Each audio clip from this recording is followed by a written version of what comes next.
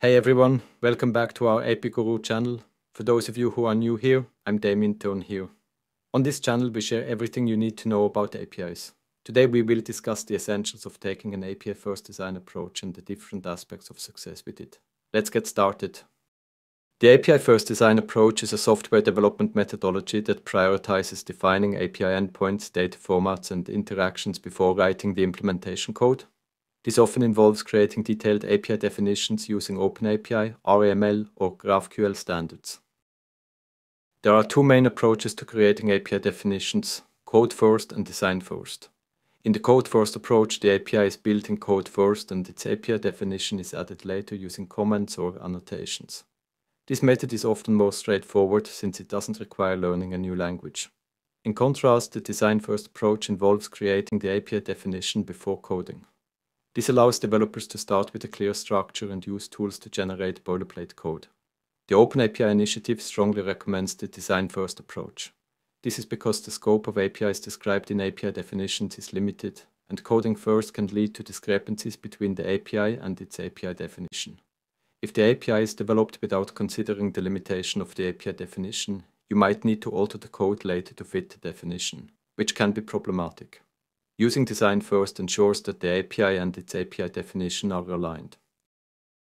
Using API definitions as a contract is a fundamental principle in the API first design approach, which revolves around defining an explicit formal agreement to ensure that all stakeholders, whether they are backend developers, front-end developers, or external partners, have a shared understanding of how the API is expected to behave. The API definitions include detailed information about the API's endpoints, request and response formats, authentication mechanisms, error codes, and other crucial details. Mocking and testing are pivotal elements in the API first design approach. They are crucial in ensuring the API meets its intended requirements and functions correctly before full-scale implementation.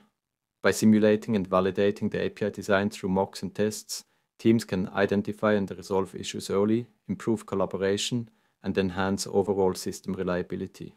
Mocking involves creating simulated versions of the API based on the design specifications. These mock implementations mimic the behavior of the actual API but are not connected to a live backend or database. Mocks allow stakeholders to interact with the simulated version of the API, providing valuable feedback on the design. Mocks allows front-end developers and other stakeholders to start working on integrations and testing their components against the API even before the backend implementation is complete. In addition, Mocks help gather feedback from potential users or internal teams early in the development process, which can lead to timely improvements and refinement in the API design. Applying user-centric design is a critical element of the API-first design approach. It ensures the API is developed with the end user in mind, enhancing its usability and effectiveness. By focusing on the user's needs and experiences, whether developers are integrating with the API or end users interact with the applications built on it, this approach creates intuitive APIs aligned with real-world use cases. User-centric design involves gathering user feedback, understanding workflows, and identifying pain points.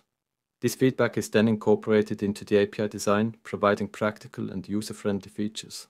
For instance, clear and consistent endpoints, straightforward request and response formats, and comprehensive documentation are all informed by understanding how users will interact with the API. By integrating user-centric design principles, the API-first design approach improves the API's usability and accessibility and ensures that it meets the specific needs of its users. This ultimately leads to more successful integrations and a better overall user experience. Before initiating the development of a new API, it's crucial to identify the specific developers or teams who will be using it, understand their requirements and expectations from it, determine the purpose and problem the API is intended to solve for them, and establish the timeline or deadlines for when the API must be delivered. Answering these questions ensures that the API is tailored to meet the needs of its intended users and is delivered on time.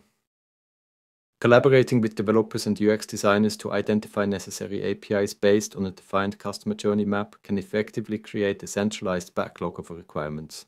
For instance, consider a basic banking application where users log in to view their accounts and transaction history. Four APIs would empower developers to build such an application.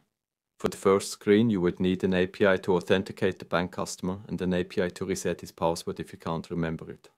For the second screen, you need an API to fetch and display the customer's bank accounts and balances. And for the third screen, you would need an API to show customers their transaction history.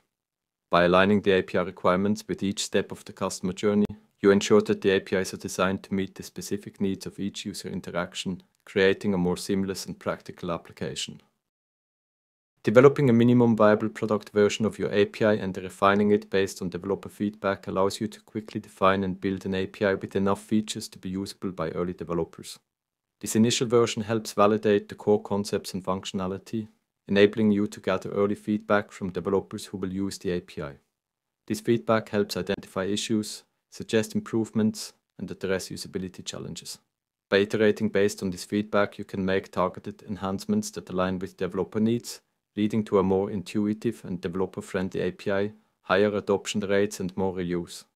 Developing a basic version of your API and iterating based on feedback also helps allocate resources more efficiently.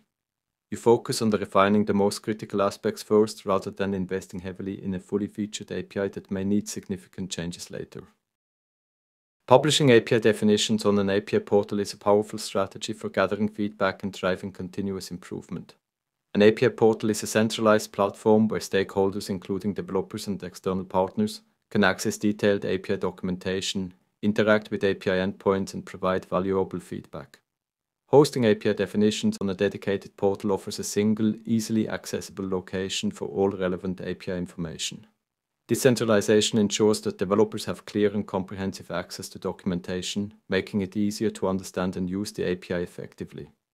An API portal often includes tools for developers to test API endpoints, report issues, and suggest enhancements. This interactive capability allows you to gather real-time feedback from users actively engaging with the API, offering insights into its functionality, usability, and performance. A continuous integration and continuous deployment CI/CD pipeline is crucial for maintaining adherence to API design standards and automating the update of API definitions on the API portal. By integrating CI/CD practices into the API development workflow, organizations can ensure that their APIs remain consistent, reliable, and up-to-date. A CI/CD pipeline enables automated testing and validation of API design standards throughout development. By incorporating design checks and linting tools into the pipeline, teams can quickly catch deviations from established norms. This ensures that all changes adhere to the predefined API design guidelines, maintaining consistency and quality across the API. With the CI/CD pipeline, updates to the API can be automatically tested, validated, and deployed. When changes are made to the API or its documentation, the pipeline triggers a series of automated steps including building, testing, and deploying these updates. This ensures that the latest version of the API definition is consistently and promptly reflected on the API portal. As developer feedback is collected, updates to the API may be required. A CI/CD pipeline allows for rapid iteration by automating the integration of these changes into the development and deployment process. Thanks for watching. If you enjoyed this video and want to see more, hit the subscribe button and turn on notifications so you don't miss any updates.